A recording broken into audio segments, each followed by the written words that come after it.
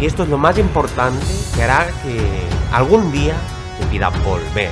Que se arrepienta tanto que llega un momento en el, en el que se diga a sí mismo, no puedo vivir sin esa persona y entonces te hablará. Esto mágico que te voy a decir y hace que siempre acabe pidiéndote otra oportunidad es...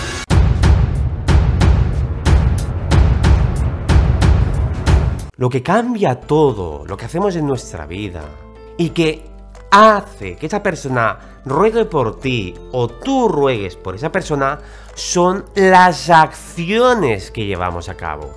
Y que nosotros actuemos de una forma, de, de una forma o de otra, dependerá totalmente de la mentalidad que tengamos.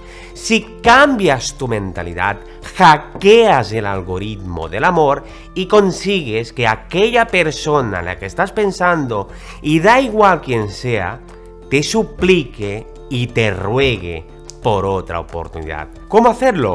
Vamos a verlo. Tu mentalidad debe ser de ganador, no de rechazado. Hay dos formas de pensar cuando nos rechazan. Decir, oh, me ha dejado llorar y lamentarte y culparte a ti. O bien decir, mira, que este es subnormal y no valora lo bueno que tengo. También hay que entender que no todo el mundo tiene la obligación de quererte. Y que una persona puntual de las 7 mil millones de personas que hay en el planeta no significa que porque esa persona de las 7 mil millones que hay, significa que tú seas basura, porque te rechacé una de las 7 mil millones. Tómala como lo que es, una decisión de una persona, una de las 7 mil millones. Es un 0,00001% de la población. Entonces no puedes tomarte ese 0,0001% como si fuera el 100%, porque si no te hundes, debes de verlo de forma objetiva. No tener mentalidad de perdedor, de rechazado, culparte a ti, llorar por las esquinas, no. Acepta la vida tal cual es, que muchas cosas sí te irán bien, pero otras cosas no. Y no pasa nada, se puede entender que claro, para ti esa persona era muy importante y que eso te duela, pero de ahí a fustigarte a ti mismo, sufrir y unos lamentos ahí que parece que os vais a tirar por una ventana, hombre, pues tampoco es eso. Hay que racionalizar y dar a las cosas la importancia que tienen. Las rupturas de pareja son normales y un ser humano va a tener muchas, probablemente, a lo largo de su vida. Entonces, como es algo que te va a pasar y que le pasa a todo el mundo, debes de tomártelo dentro de esa normalidad. Entender que sí, que estás sufriendo, pero eh, ya, eh. No significa que todo es una mierda, que tienes que estamparte una silla en la espalda, no, tranquilo, es un proceso que pasan prácticamente todos los seres humanos, hasta esa persona que te ha rechazado, la han rechazado ella. Y como ves, no se ha muerto, sino que se ha repuesto y ha llegado el día que incluso ha rechazado a otra persona que eres tú.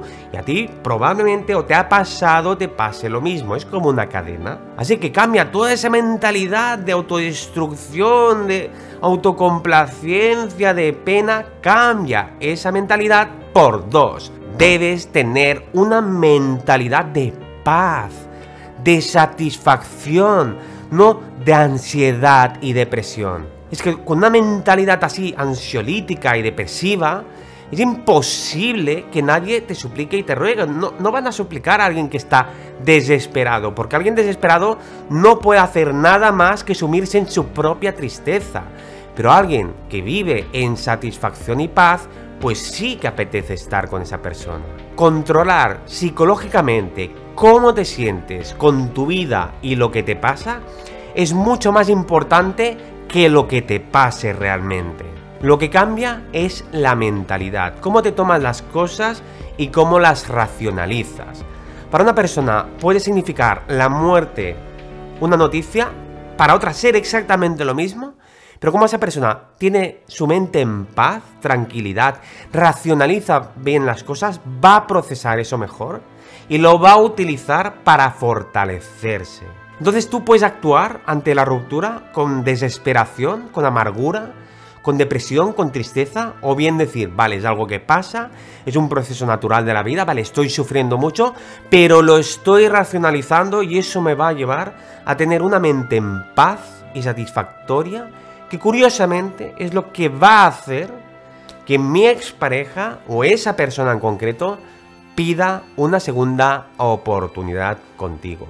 Controlar psicológicamente cómo te sientes, en serio, lo cambia todo. Si quieres que esa persona vuelva cuanto antes a tu lado, que sepas que nos puedes contratar en verdaderaseducción.com, en el apartado Coach. Allí busca nuestro bono mensual porque dura cuatro semanas y en cuatro semanas te podemos ayudar muchísimo. Bien, vamos por el punto número 3. Nunca te sientas como un perdedor reemplazable.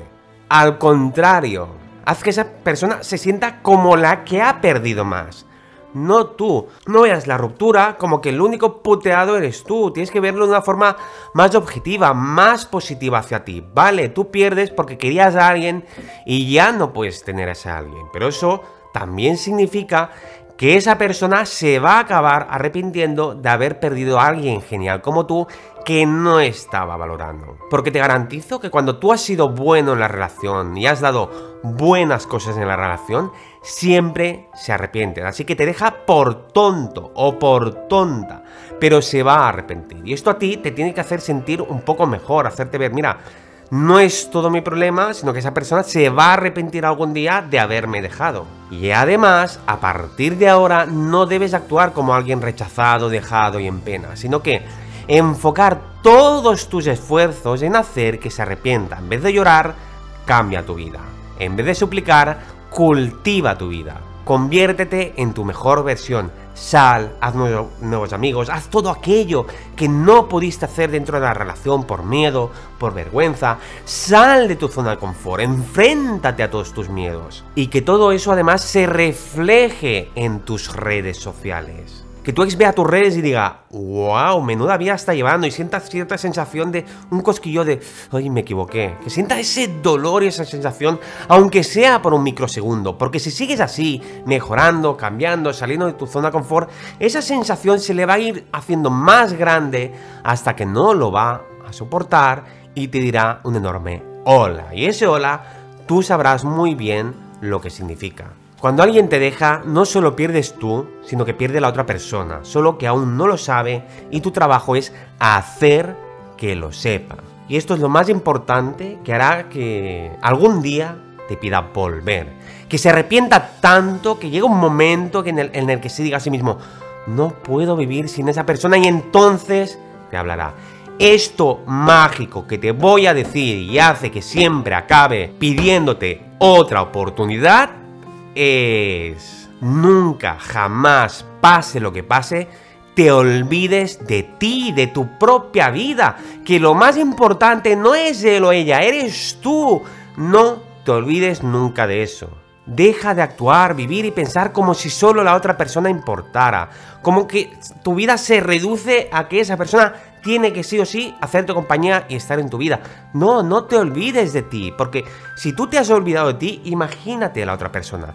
Empieza a ver tú qué quieres, qué sientes, qué vas a hacer con tu vida. Empieza a pensar de una forma individualizada y no de una forma de me muero si no estoy con esa persona. Porque al fin y al cabo, solo estás desesperado por tu ex porque no te gusta tu vida. Si te gustara tu vida, el círculo que has creado, no te haría tanta falta, no estarías tan desesperado. Hay un vacío en tu vida que tienes que rellenar y hasta que no lo llenes, tu ex no va a volver contigo, porque seguirás siendo un desgraciado toda tu vida o desgraciada que solo piensa en estar con alguien porque tú por ti mismo no sabes ser feliz. Y sí, es cierto, no es fácil crear una vida que te encante, que te fascine, que te guste. Requiere de esfuerzo, pero cuando lo haces compensa y de sobras porque todo te llena y ya no buscas a alguien que te salve tus miserias. Buscas un compañero de vida, alguien que te acompañe, no alguien que te soporte o alguien que te haga sentir menos miserable. Y cuando tu ex vea que no le necesitas, cuando tu ex vea que tu vida es increíble, es cuando va a querer volver contigo. Así que deja de llorar, deja de lamentarte, deja de esperar que alguien te haga feliz y aprende con esfuerzo y dedicación a crearte una vida que te encante. Dedica el tiempo que haga falta, apuntarte a las actividades que haga falta y el esfuerzo que sea necesario para crear un círculo de amistades que te hagan desear que llegue tu tiempo libre para compartir tus momentos y tu tiempo con esa persona magnífica y esas personas que te hacen sonreír cada mañana, que te levantes. Busca esos hobbies y esas aficiones que te motivan a seguir adelante, que le dan sentido a todo tu ser y toda tu vida. Porque no, mientras no tengas nada y lo único que tengas en tu vida es que esa persona vuelva contigo, nunca volverá contigo. Si quieres que tu ex vuelva contigo, si quieres que las cosas cambien, el primero que debe cambiar eres tú. No puedes ponerle la responsabilidad a tu expareja de hacerte feliz. El mayor problema de los clientes que me llegan siempre es el mismo, que no tienen vida y no tienen ninguna intención de cambiar esa vida. Les da pereza, solo ven a su ex que le digo, ¿qué hago? A ver, ten vida, no puedes estar todo el día encerrado en casa, que los únicos tres amigos podridos que tienes son también los amigos de tu ex y que esperes que vuelva contigo. ¿Cómo va a volver contigo si ni tú mismo te quieres? Es que es imposible. Empezad a tener una buena vida que os guste y dedicad el tiempo que haga falta en construirla, porque la recompensa que obtendrás es inimaginable. Si quieres que Toys vuelva contigo, que sepas que tengo un audio curso de 8 horas que te enseña todo paso a paso para que vuelva contigo, con consejos y técnicas que no verás en mis vídeos. Puedes comprar mi audio curso en verdaderaseducción.com. En el apartado audios, allí busca cómo recuperar a tu ex. Espero que te haya encantado el vídeo y no olvides suscribirte.